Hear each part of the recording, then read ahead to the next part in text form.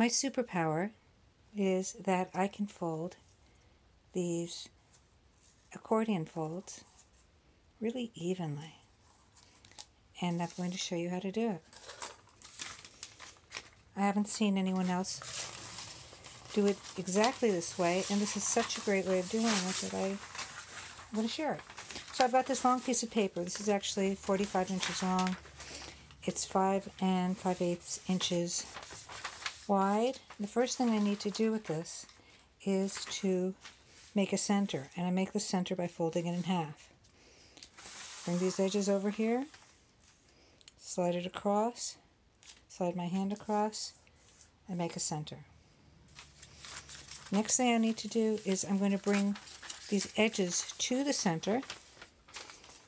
This is the way that Barbara Murielli, Mauriello taught me many years ago. I do something a little different than hers after the she does after this step, or after the way she taught me at that time. But this is how she started, and it's a great way to start.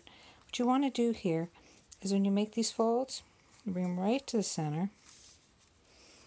And what you want to do is make sure that you really make these folds sharp because you're going to be reversing them. You're going to be creating the inverse of this fold. Making it was going one way, now it's going the other. If you started out making this kind of a wimpy fold here, it won't reverse as well. So you really want to make sure that's a good sharp fold and see how nicely that reverses. Okay, so now I've got this center. I think this is the origin. And the folds are going to reflect towards the origin. Uh, it's, it's going to be symmetrical folding on both sides. And what I'm going to be doing is bringing it right to the center here. Very carefully to the center. Slide across. Now I've got this nice little edge here because I've made a fold. That's going to make it easier to match up right to the center again. That's why it's so important to make that first fold right at the center. And line it up just right.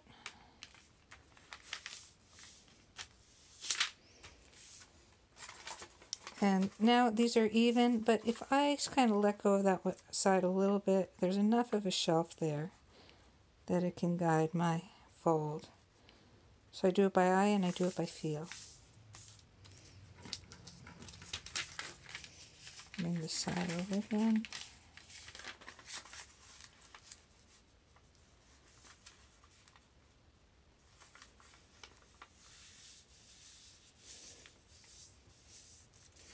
There you have it. An accordion. This is still too big. So what I need to do is, this is a mountain fold. I need to make all of them into mountain folds. So I, that means I've got to reverse every other fold.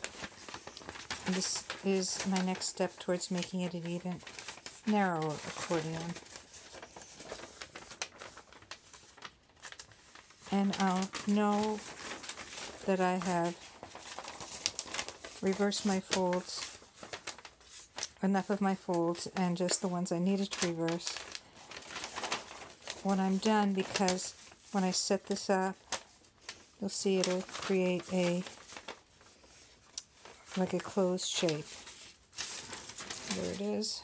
You see it's nothing's going the other way. Okay, so I get back to my middle. Find my origin again. It's right here. And now I'm going to be bringing these again right to the center. This first fold is the most important one because I can't do it by feel and by eye. I can only do it by eye. Got a little shelf there again. Come to the center, meet it up. Again, these are even, but if I let go of this one a little bit, there'll be a little bit of a shelf just a little bit of a shelf.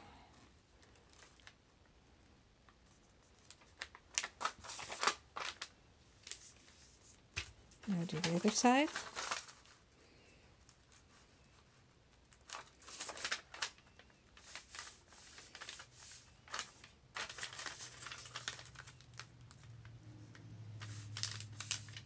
And what I would do after this, if I wanted to make them smaller, is I'd go in reverse half those folds again and bring everything to the middle again. But this is as far as I'm going to go with this one because it's it's really just the same idea repeated over and over again. In this case, let's see, that there. Okay, there we go. There's my accordion. Um, uh, if I if I went down even further, it would be go. It would be like this. For this, I'm going to be making one of these. So I only actually need these these folded into squares. I only need six and a half squares, not eight, which this is what made. So I'll be taking off this much, but uh, that's how you do it. Now you've got a superpower. Enjoy.